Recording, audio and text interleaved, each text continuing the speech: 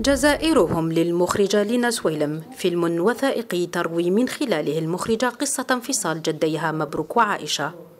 الفيلم بين الذاكرة الشخصية والذاكرة الجماعية يعني كان كتير مهم إلي أقدر أحكي عن قصة سيدي وستي كمان عشان الناس يتعرفوا عن هدول الذاكرات الشخصية اللي بنحكيش عنها.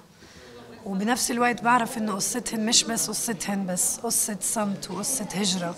وقصة ذاكرة الجمعية والحرب والاستعمار يعني ورا كل القصة تبعتهن في كل هدول القصص. وكان مهم إلي أخلط الذاكرة الشخصية والذاكرة الجماعية عشان إحنا نقدر نحكي قصتنا بلا ما نمرق عن طريق ناس تانية. ونقدر نحكي عن حالنا لحالنا ونفهم إيش صار. إيش صار فينا عشان كمان نقدر نحكي مع الباقي ونفهم الباقي. تحاول المخرجة على مدار سبعين دقيقة التصالح مع ستون عاما من الذكريات. صمت عائلي يخفي أوجاع جيل كامل. حاول التعايش مع معاناة المهاجر.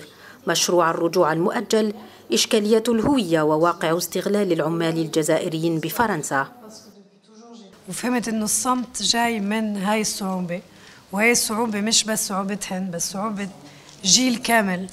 ومش بس بالجزائر كمان يعني في كتير قصص غربة بمحلات تانية. وكمان اليوم عم نشوف إنه في كتير غربة بالعالم وبنفهم كيف الصمت دخل بال بال بالكونكشن بين الأبو والأم والأولاد. كيف كان شغله؟ وفكرت ألاقي صورة ألاقي جملة عن الجزائريين اللي كانوا يشتغلوا ما لقيت ولا شيء واكتشفت فهمت إنه هو وصل كشاب عمره 80 18 19 سنة يمكن كان هيك مبسوط إنه يوصل على محل ويفكر إنه هي حياة جديدة. وبالآخر فهم إنه كله اكسبلوتاسيون وما ما لقاش محل والغربة كان صعب. فيلم عائلي امتزجت فيه وقائع معاناة وتفاصيل الذاكرة الفردية مع الذاكرة الجماعية.